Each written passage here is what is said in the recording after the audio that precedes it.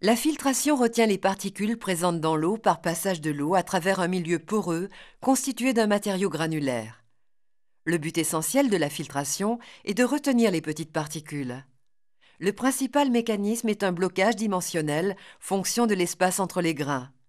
Mais il ne faut pas négliger des accrochages à la surface des grains en raison de forces physico-chimiques complexes.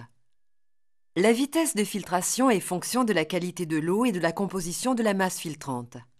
Au fur et à mesure du passage de l'eau, l'espace entre les grains enrobés de particules se réduit. À débit constant, la vitesse de circulation entre les grains, dite vitesse interstitielle, augmente, entraînant un accroissement de la perte de charge. Or, il est souhaitable que cette vitesse soit limitée, quel que soit le degré de colmatage des filtres.